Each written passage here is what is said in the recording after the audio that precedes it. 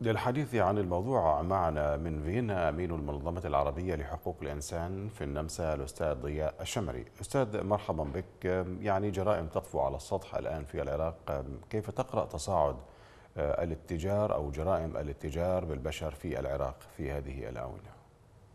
في البداية السلام عليكم وتحياتي للجميع. حقيقة هذه المشكلة ليست آنية وإنما المشكلة بدأت بعد أن أن فلشت الدولة العراقية ولا توجد دولة عراقية.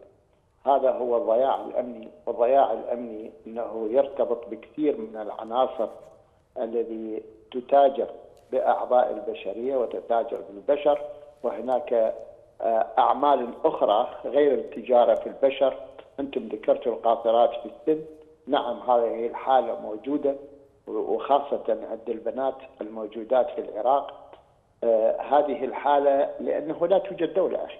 بالعراق لا توجد دولة. توجد عصابات وأحزاب آه قمعية. أحزاب لا يمكن أن, أن أنه الدولة تقدر هو وهي جزء من الدولة. يعني لا توجد دولة أولا وهي جزء من هذه العصابات الموجودة.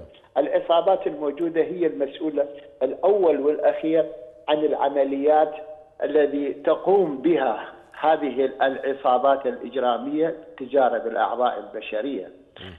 والدولة تغض النظر عن هذه الحالة وتلك الحالة لأن هم جزء من هذه العملية. المجموعة الذي تحكم العراق هي مجموعة سراق وحرامية وهذا نعرف من بداية الاحتلال ولحد هذه اللحظة. لا توجد هناك سلطة تراقب من هو يقوم بهذه الأعمال. وبالعكس أنه هذه السلطات الموجودة هي تتستر على كثير من الجرائم الموجودة الموجودة في العراق. هنالك جرائم كبيرة موجودة في العراق في السجون العراقية وفي سجون النساء والاغتصاب. وبيع النساء أيضا. هذا كل هالحالة موجودة لأن لا نعم. يوجد أمن واستقرار المرصد أستاذ ضياء المرصد العراقي لضحايا الاتجار بالبشر أكد أن هناك 15 شبكة تصطاد ضحاياها في العراق. البصرة وحدها سجلت أكثر من 300 حالة لضحايا الاتجار بالبشر خلال ستة شهور. هذا الرقم كبير جدا. ولكنه يدفع أيضا للتساؤل يعني عن العوامل التي أدت لشيوع مثل هذه الجرائم. تحدثت حضرتك عن العصابات والأحزاب. من يقف وراء هذه العصابات والأحزاب؟ هل هناك جريمة منظمة تقف وراءها قوى دولية أو إقليمية من وجهة نظرك؟ والله هي بالحقيقة المحتل من دخل وكثير من من ساسة الاحتلال أو يسموها بما يسموهم صخور الاحتلال كانوا يبشرون وينذرون للسياسيين العراقيين السابقين إنه سنعيد العراق إلى عصر الحجر أو عصر الجاهلية. ولحد الآن هذا هو البرنامج الحقيقي الذي تقف وراءه هذه المؤسسات، المؤسسات التي دخلت للعراق لتدمير العراق، ليست تدمير العراق كبنية تحتية ودمرت البنية التحتية لا توجد كهرباء لا يوجد مي لا توجد صحة لا توجد تعليم. هذه دمرت بالكامل. ولكن تدمير الشخصية العراقية في الوقت الحاضر هذه العصابات لا يوجد عليها رقيب. الدولة هي مسؤولة الأولى والأخيرة. ال ال السلطات الحكومية هي مسؤولة الأولى والأخيرة لحفاظة أمن المواطنين هو أحد أهداف كيف هذه نعم. العصابات تتاجر بالبشر والحكومة العراقية؟ ماذا تعمل؟ إذا الاتجار بالبشر هو أحد أهداف الاحتلال الأمريكي مفوضية حقوق الإنسان أستاذ ضياء أكدت ما سمتها قائمة العار الصادرة عن الأمم المتحدة بشأن ظاهرة الاتجار بالبشر أنها تلاحق العراق وتهدد بخسارته المساعدات الدولية هل من وجهة نظرك ممكن أن يخسر العراق المساعدات الدولية بسبب هذه الجرائم المتصاعدة فيه؟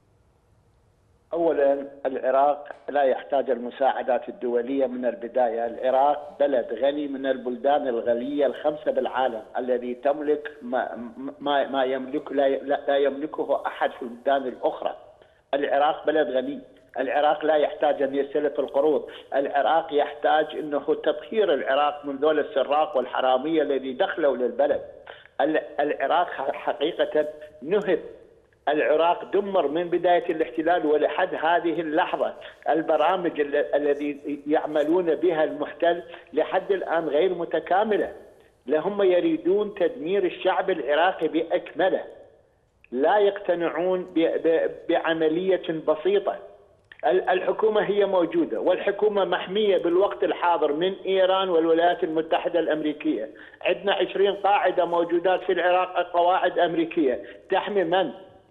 هل هل هذه القوات الأمريكية الموجودة لا تعلم بما يحدث في العراق؟ نعم تعرف وعندها التقارير وعندها التقارير الكافية بما يحدث بالعراق، بما يعملوه السياسيين، نعم. السياسيين العراقيين أخي يعملون بالعلن، يقولون إحنا سراق ونحن حرامية ونحن نتاجر بالأشياء المحرمة، هذا كله يعلنوه والولايات المتحدة الأمريكية تعلم جيدا ما من هو الذي يقود نعم. العراق ومن هو الذي يحكم العراق ليس شكرا. العراقيين يحكمون العراق الأجانب الموجودين في العراق هم الذين يحكمون العراق إيران نعم. تحكم العراق أكثر من أي جهة معينة موجودة في العراق إذا كانت شرعية إذا كانت نعم. دينية وإذا كانت سياسية ليس لها الصلاحية أن تتجاوز على الحقوق الإيرانية المباحة لها من قبل الولايات المتحدة الأمريكية في العراق من فيينا أمين المنظمة العربية لحقوق الإنسان في النمسا الأستاذ ضياء الشمري. شكرا جزيلا لك.